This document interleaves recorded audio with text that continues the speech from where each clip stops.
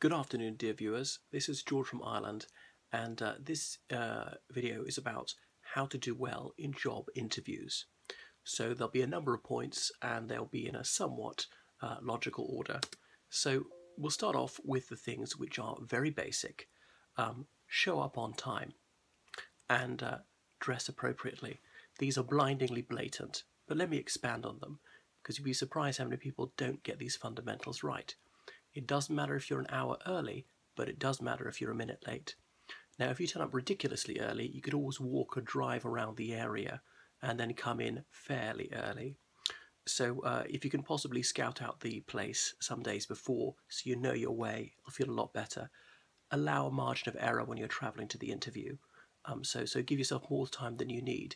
That's good for two reasons. First of all, punctuality, but also you won't be worried about making it. And the thing is, obviously, to uh, dress suitably for the interview. Remember, you're making a first impression, and uh, people are foolish to judge by clothes, but they do.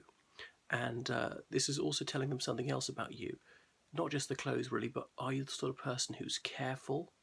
Um, do you take a pride in things that you do, not just your appearance? Um, can you meet their expectations? Are you making an effort? That's what they're trying to uh, deduce from the way that you dress and they believe that this is you on your best behaviour, that on an average day at work you won't be quite so good. Um, uh, so if, if you're not sure, it's far better to overdress than underdress. Smart casual can be difficult to interpret, in which case you might say, do you mind if I wear a suit? Um, let me see. So um, think about questions uh, in advance. What are they likely to ask you? There's some things that might be specific to the sector. There are lots of general questions. Why do you want this position? How do you feel about your current role? Why did you leave your previous role? Um, where do you see yourself in five years' time? What's your greatest strength? What's your greatest weakness? Things like that. What can you bring to the team? Are you a good team player? And these can apply to almost any uh, sort of work. So know the organisation, look up their website or read any publicity they put out. Be able to quote their own propaganda back to them. They might have certain buzzwords or slogans, and if you can drop those into the interview, uh, that will go down well you'll show you you'll show the sort of person who's who's done research.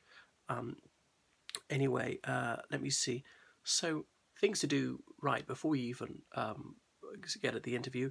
Apply for a suitable job, one that you're good at, one that you'll enjoy. You're far more likely to succeed at something that gives you gratification as opposed to something you're simply doing for money. Um, so even if you're not good at it and uh, you're not going to derive satisfaction from it, you've at least got to give a convincing impression uh, of these things. Um, so you uh, hopefully are going to come across as genuine, nevertheless, by being positive without being um, falsely over enthusiastic. Um, another golden rule is not to worry about it. I remember my first job interview and um, I was petrified uh, but there was no reason to be petrified, really. If you get the job, that's fantastic. If you don't get the job, well, then you know you're no worse off than before. In fact, you've gained valuable experience. So just treat every interview as a practice. Yes, you're going to try, but you're not going to be fretful.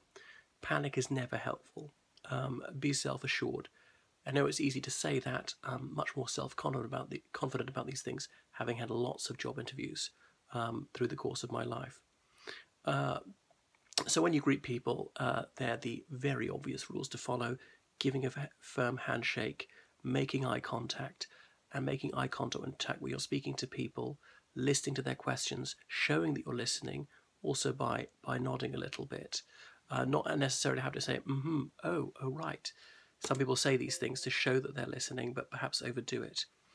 Uh, not to show any signs of anxiety, which they may um, mistake for dishonesty, such as touching your face, rubbing your nose, rubbing your mouth, biting your nails, fidgeting, rubbing your hair, things like that. Um, so they often say, Do you have any questions for us? So have a few intelligent questions. They can't be things that you ought to know already about the organisation, or really idiotic or controversial questions. As a general view, avoid being tendentious.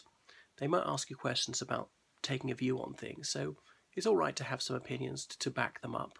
I wouldn't express the most controversial uh, opinion in the world. Fudging is probably not a good idea. I point out these mistakes because I've made most of those mistakes. So, um, uh, and uh, there might be some salary negotiation there. So you've got to think what's the minimum you'd accept and then go a bit above that.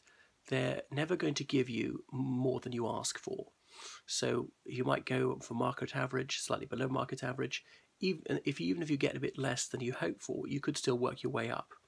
So don't sell yourself short. On the other hand, it would be unwise to price yourself um, out of the market. So you've got to ask yourself if you were in the position of interviewing people, what would you be looking for?